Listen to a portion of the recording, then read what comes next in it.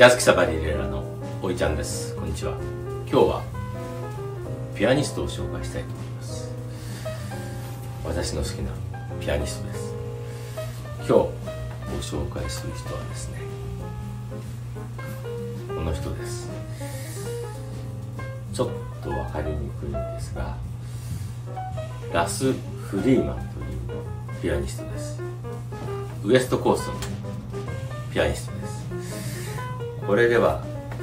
えー、非常にかっこいいジャケットでイメージはいいんですが、えー、ラス・フリーマンはっきりとした顔が写っているジャケット以前紹介しましたがこのレコード紹介しました。アンドレ・プレリンとラス・フリーマンの有名なレコードですね。ダブルプレイという、えー、野球にまつわるその楽曲ですね、えー、自分たちで作ったりとかすでにある曲とかそういったものを、えー、やったアンドレ・プレビンと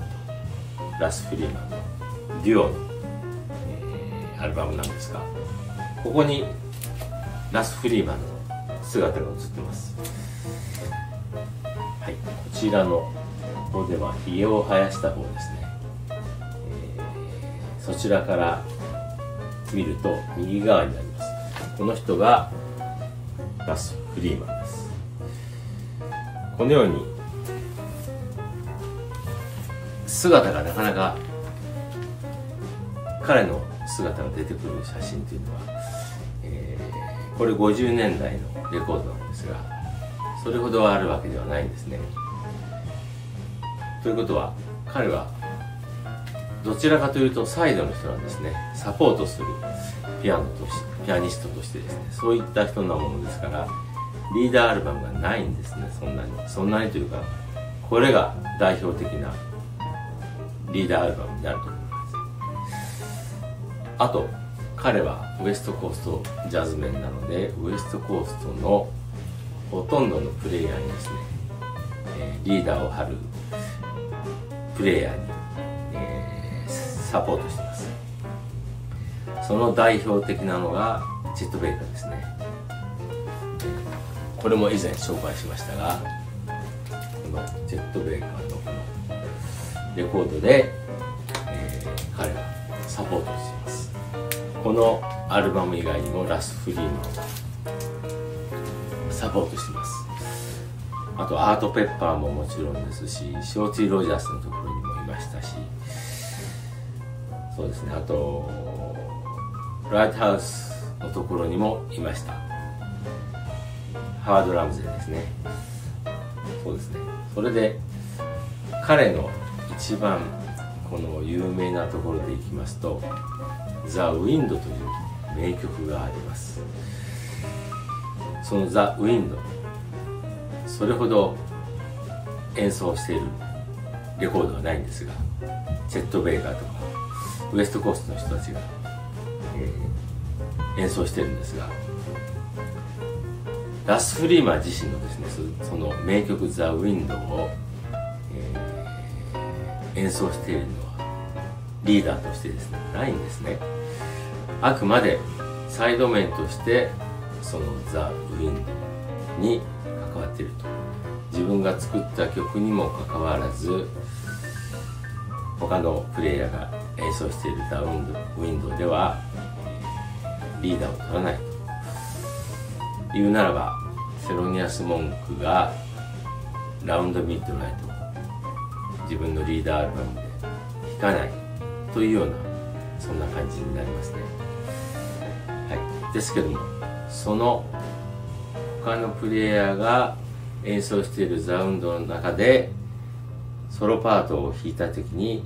やはり彼の良さがよくわかるんですね。それで多分、えー、彼はよく分かってると思うんですが彼のピアノを聴くとですね滑らかではないです。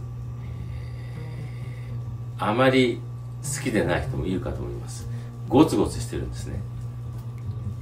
ゴツゴツしてるところが私が思うに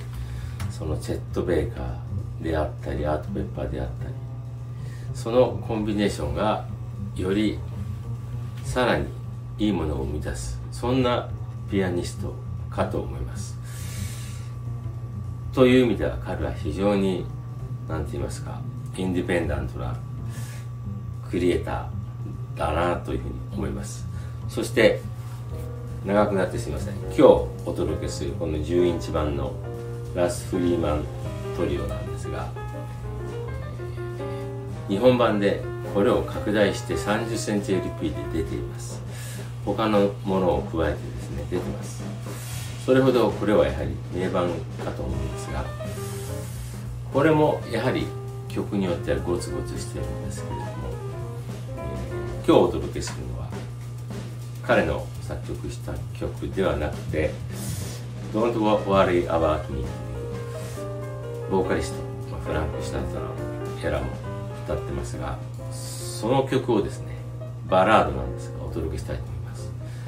この演奏なんかを聴くとですねやはりこの人は